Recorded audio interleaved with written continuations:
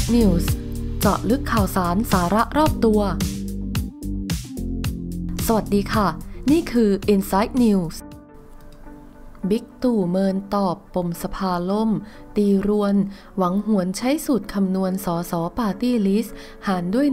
100 บอกพิพาทจีน ไต้หวัน เป็นเรื่องไต้หวันและสหรัฐ ขออย่าตีกันเอง ที่จังหวัดกาญจนบุรีพลเอกประยุทธ์จันโอชา นายกรัฐมนตรี และรัฐมนตรีว่าการกระทรวงกลาโหม ให้สัมภาษณ์ภายหลังเสร็จสิ้นภารกิจ เพื่อตรวจราชการที่จังหวัดกาญจนบุรี ถึงสถานการณ์ระหว่างจีนและไต้หวัน และสหรัฐอเมริกาว่า เป็นเรื่องของไต้หวันและสหรัฐก็ว่ากันไป เพราะที่นี่คืออาเซียน เข้าใจอยู่แล้วว่าเราอยู่จุดไหน พร้อมย้ำว่าขออย่าขัดแย้งกันเอง เมื่อถามถึงเหตุการณ์ประชุมรัฐสภาล่ม เมื่อวันที่ 3 สิงหาคมที่ผ่านมา เป็นการตีรวน เพื่อให้กลับมาใช้สูตรคำนวณสสบัญชีรายชื่อ หารด้วย 100 หรือไม่พลเอกประยุทธ์ไม่ตอบ โดยเดินออกจากวงสัมภาษณ์ทันที ฝันหวาน ฝันล่ม สลับกันไป ภายใต้ร่มเงาสามปอ ที่ยังคลุมเครือ เรื่องแผนอำนาจ ต้องมองทีละช็อต แม้แต่เรื่องกติกาเลือกตั้ง ล่าสุดการประชุมรัฐสภา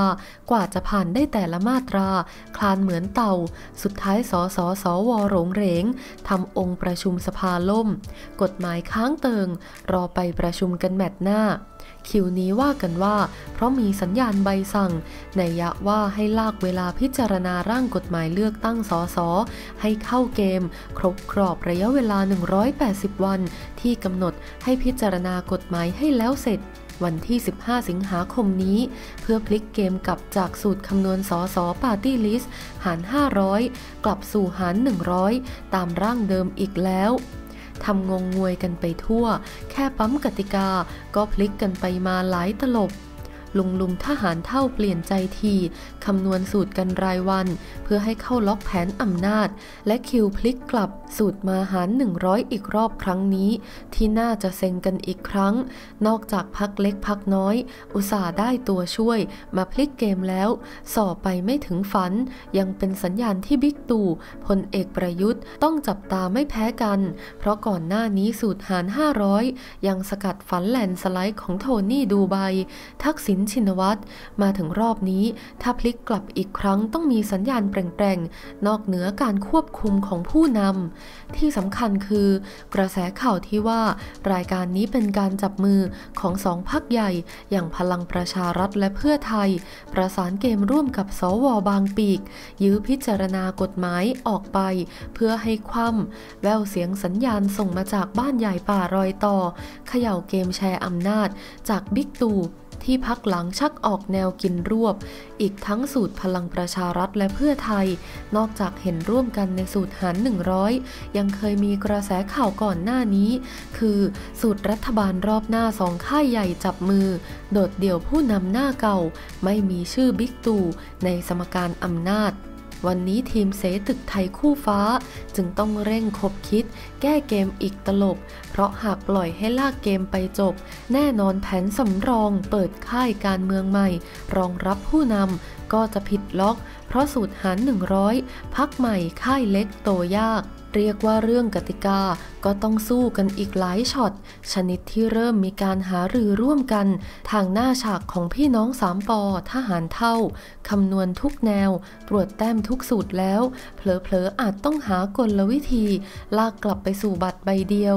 อย่างไรก็ดี ในห้วงกติกายังอลเวง ที่ทำเอาป่วนเหมือนกัน ไม่พ้นโทนี่เดี๋ยวลิงโลด เดี๋ยวห่อเหี่ยว ล้อไปตามกติกาที่ยังไม่สะเด็ดน้ำ นาทีนี้กลับมาเริงร่า สูตรหาร 100 comeback จ่อเข้าทางเหลี่ยมกันอีกแล้ว ในห่วงที่ความมั่นใจ พุ่งสุดขีด ประกาศไม่สนใจ ไม่ว่ากติกาไหน เพื่อไทยก็มีโอกาสเข้าเป้าถล่มทลาย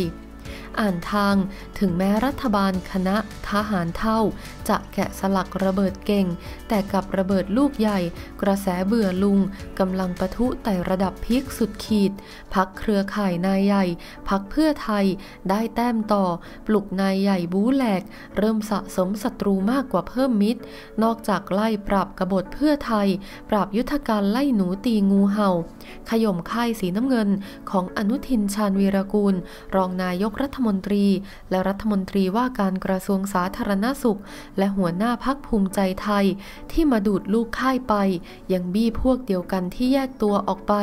ทั้งถล่มเครือข่าย เจ้าแม่กรุงเทพมหานคร คุณหญิงสุดารัตน์เกยุราพันธ์ประธานพักไทยสร้างไทย เอ่ยปากเย้ยหยัน หันราคา เครือข่ายพักสร้างอนาคตไทย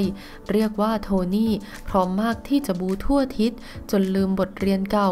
ยามนี้ของขึ้น ปะชะดะไปทั่ว จนโดนทุกขั้วอำนาจรวมทับโค่น มารอบนี้เริ่มส่อแววซ้ำรอยเดิม คนแดนไกลมีท่าทีร้อนแรง อีกทั้งไปปลุกทุกขั้วฝ่ายที่กำลังงัดข้อเล่นเกมอำนาจกันอยู่ต้องชะงัก จุดกระแสแนวต้าน ให้รวมตัวกันอีกครั้ง ขอขอบคุณข้อมูลดีๆ จากข่าวสดและไทยรัฐ อย่าลืมกดติดตามหรือฝากคอมเมนต์ได้นะคะ สวัสดีค่ะ